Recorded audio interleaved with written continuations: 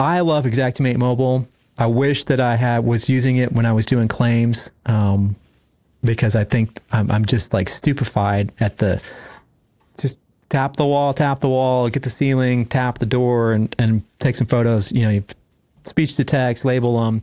I can write my estimate right there and, and pop to the next room. Um, how do you see? Because I get this question sometimes. You know, people will say, "Well, should I invest twenty seven hundred dollars or thirty six hundred bucks or whatever it is for a Matterport um, just to do like cat claims or flood claims or like you know wildfire claims or whatever?" Or you know, and I usually will say, "Well."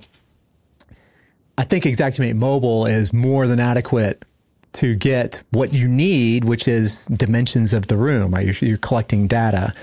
The, the exact, you know, the Matterport is a pretty sophisticated piece of equipment and it gets super high fidelity, but do you need that level? Um, what are your thoughts on um, claims with either the Xactimate Mobile or Matterport? So, or versus uh, Matterport? this this is I, I don't want to give like a loaded answer or a non-answer. Uh, so I'm, I'm going to give you my bias.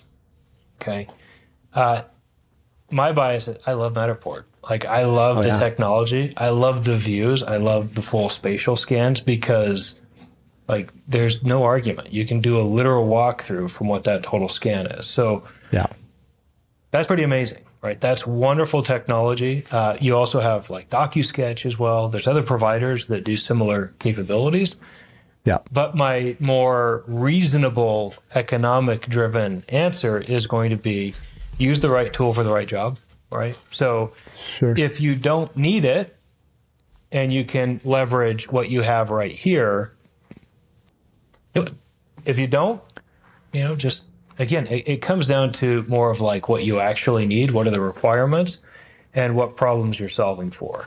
Uh, if it's a large commercial job or if it's a large yeah. fire job, yeah, I'd probably use a Matterport because there may be things that you forget that you may not be able to see in a photo. And if you have a total, you know, home scan, that's pretty valuable, I think, for situations like that.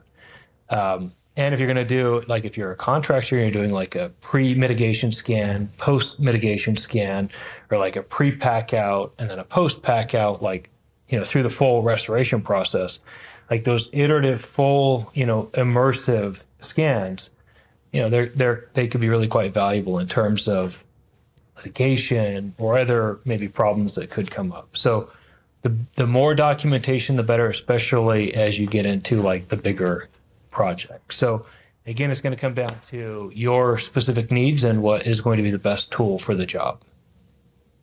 Yeah, for sure, for sure, and I, I think uh, that's that lines up with what I what I often tell people, and that is, you know, it, it really depends on the sort of the scope of the losses that you're doing. If you're doing a lot of large loss, water claims, fire claims, commercial, um, that kind of thing, then it, it, makes more sense to invest in the Matterport, especially because you're getting not only the dimensions, but you're getting a scan, a 3D scan of the space, the spaces or whatever, right? Um, for run of the mill wind and hail claims, catastrophe claims, you know, water spot on the ceiling or like some sewer backup, you know, claims or whatever.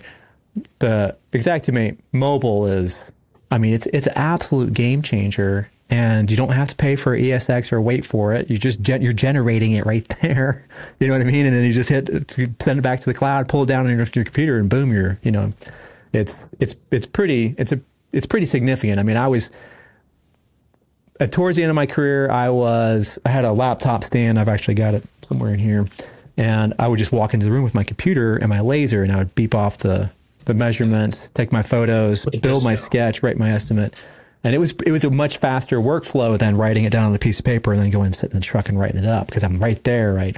What am I forgetting? Oh, the baseboard over there. Okay, put that on there and put it in the computer. Uh, but these, I think that this kind of like brings us full circle with the AI machine learning stuff.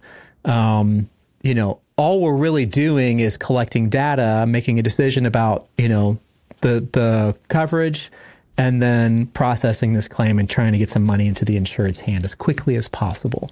And I think that, you know, based on our conversation and, you know, we can't see that around that corner. I mean, I've, we're not going to sit here and who knows, right? We could have all have neural links and everything else in the next five years, and it's a totally different world.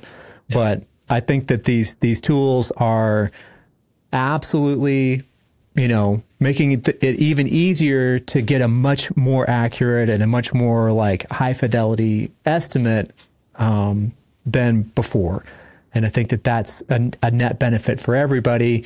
Um, you know, I know some people will say, well, you know, the Gen X and or Gen Z and millennials or whatever, they don't want to see anybody at their house and they just want to like text and like just take pictures of stuff and get money in their account. But not everybody's that way, especially the older folks and even younger folks. They want to have somebody come, especially the larger the loss is, the more you need to have somebody standing there in your living room or in your driveway, shaking your hand, you know, like approving the thing if it's they get the thing approved right then and then it's like hey check your phone or you know you should have a notification saying that you got your first payment before they leave the house right? I mean that would be the carriers would lose their minds if they can do that shake the hands of the homeowner and then off to the next one. Um, so these tools i think are going to make it even easier for for the carriers to fulfill that promise and keep their customers and you know make everybody happy and unicorns and rainbows. As an adjuster, you need to know more than just how to read an HO3 policy and how to sketch a three level house in Xactimate. You also need to know how to tell hail damage from wear and tear on composition shingles. The number one resource for damage identification books, trainings, and certifications is Haag Education. Not only that, but they provide building inspection and desk adjuster trainings and certifications as well. These are the guys who make the classic Haag Damage ID books that I used for years to educate myself, my insureds, and quite a few roof sales guys on what is damage that we can pay for and everything else. Looking at you, Bird Poop. Get a discount on all books, tools, certifications, and other trainings with the code AdjusterTV at checkout at haageducation.com. You know what's boring?